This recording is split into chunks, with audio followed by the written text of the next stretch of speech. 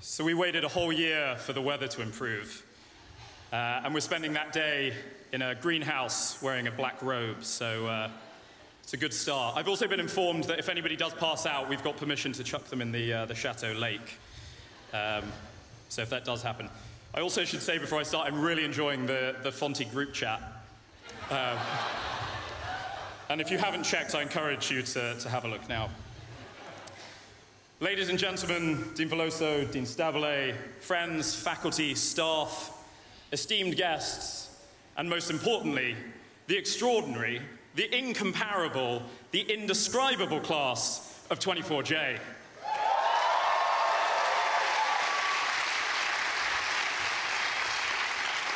We were, uh, we were fortunate to have our guest speaker, Sebastian Missoff, here from Google today. He's had to run off. Uh, I had a whole section of Google jokes prepared, but given that many of us are still in the recruiting process with Google, I've been asked to hold these back. And Sebastian, if you're watching this online later, I hope you realize you've got away lightly and that you will look kindly on that uh, when reviewing any applications in the coming weeks.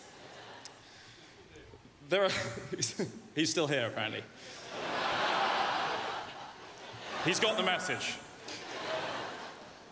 There are also several alumni here today and some alumni parents. And for them, this is a particularly proud day. You can tell who they are because they look particularly smug. Keep reminding you that in their day, they worked a lot harder, didn't travel so much, and all lived in chateaus. And on an entirely separate note, the university have asked me to remind you that there is a donation box at the back and that you'll be shaken down for any loose change on the way out.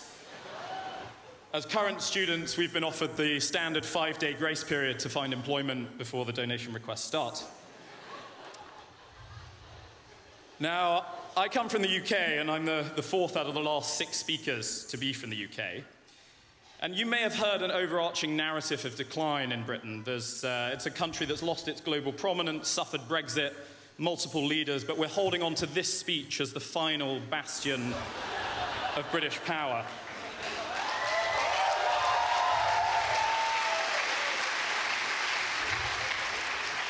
And this is uh, an exciting year. There's been several changes at the university.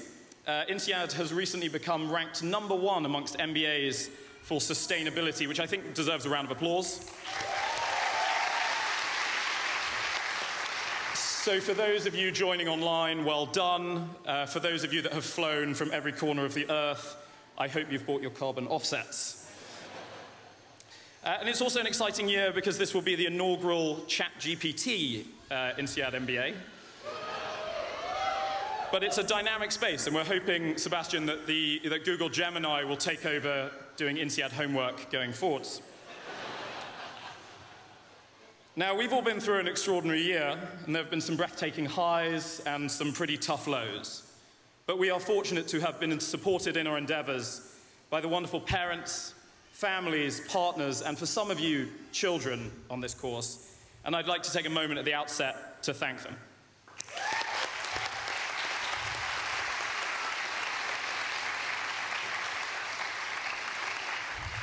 We're also incredibly fortunate to be able to host the graduation in such an amazing and historic venue.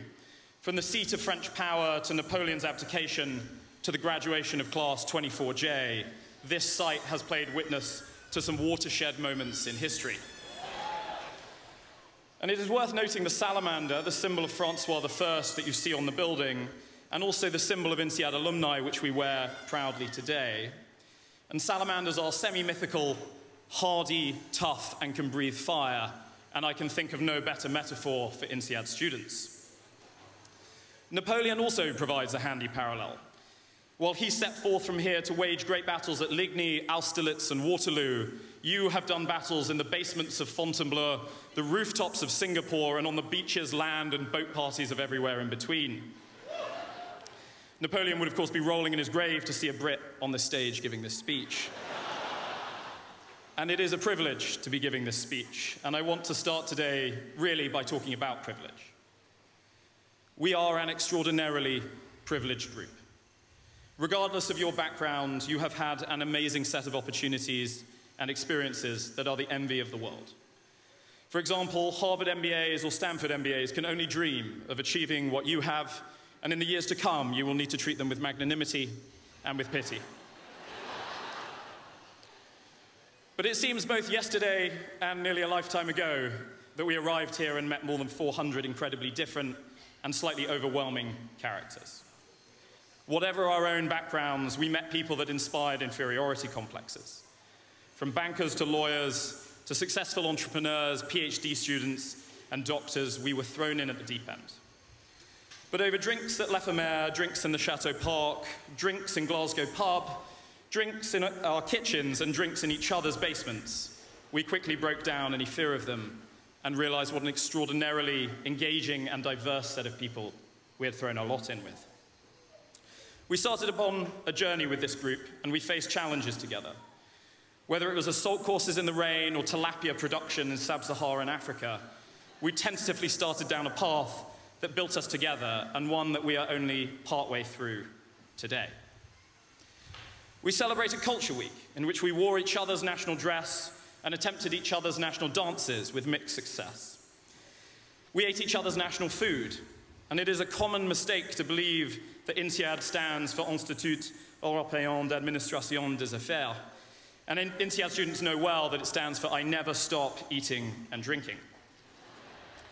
We have broken bread together. From Chinese hot pot to Indian curries, Brazilian brigadeiro, Pakistani pakoras, Arabic dates, Colombian coffee, and Nigerian jollof, we have tried it all. INSEAD is legendary for its diversity. Everyone arrives at INSEAD a minority, and this heady mixture makes for some interesting experiences. We come from every corner of the earth. 66 different countries, we speak 48 languages. Some of you come from vast countries, and some of you come from countries so small that your presence here makes a notable difference to the population size. Some of you have lived up to your national stereotypes. Where are the Italians and the Spanish? You guys are so loud that you've given us tinnitus, and we would have it no other way. Where are the Lebanese? The academic staff have asked me to give you a quick shout out, as none of the professors have ever seen you before, despite the official attendance record saying 100%. Some of you, though, defied your national stereotypes. I have a Japanese friend famous for missing the bus because he's not punctual. I've met loud Scandinavians, humble Americans, and even that rarest of creatures, a friendly Frenchman. and with 66 different nationalities, I obviously can't mention everyone, but this breadth of national character uh, gives us perspective and adds to our collective view of the world. Um, but in that maelstrom of competing views, interests, and perspectives, we also found something. We found friends, we found colleagues, we found future business partners. And some of you found love. Some of you found a lot of love. And some of you have loved on campus. You know who you are. We found people that were prepared. we found people that were prepared to do insane trips with us. Whether it was Hong Kong, Samarkand, New York, Sofia, Sydney, Japan, or even a private island in Indonesia, we found people willing to push the limits with us taking the highs and lows in their stride, pushing us forwards, stretching us, and ultimately changing us for the better. Travel is entwined in the INSEAD experience, and it creates deep bonds amongst us and between us. We found people with diverse career interests. Some of us targeted consulting, while others went into consulting, and a few thought about consulting and a tiny, tiny number amongst us decided to do something interesting with their lives. But we have all found camaraderie and a place that we belong. I will not name them, but on the second day here, I was sat next to someone in one of the introductory lectures. And we got speaking, and they told me that they'd been living abroad for many years and that they no longer felt at home in their home country, and that they struggled to find belonging in Europe or anywhere else for that matter. And I suspect that that is a story that resonates with many people here. Well, I hope that you have found belonging here. Everyone is a minority here, and so no one is a minority. As I think back across those differences, and the similarities between us, it's hard not to feel that there's something special here. It is fizzing with energy. And with this group at our back, we can accomplish anything. And not only that, we have an obligation to do so. The world is a complex place, and we face massive challenges. From conflict to climate change, pandemics, and issues that we have not yet conceived of, we will face unprecedented challenges. And I can think of no group better equipped, or one with whom I would rather face those challenges. We know going forwards that we have 400 plus people fighting our corner. We know exactly who we have to call when the going gets tough in the years to come.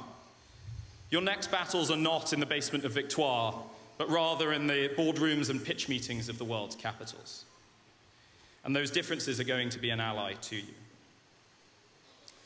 These have been halcyon days that we have spent together, and I am extraordinarily grateful for the time that we have had.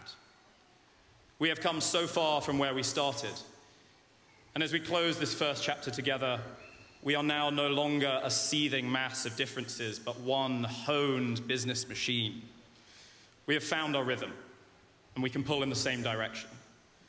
We have cast aside our issues and taken what sets us apart and made it what binds us together. Those differences are our strength, and we are the class of 24J. Thank you very much.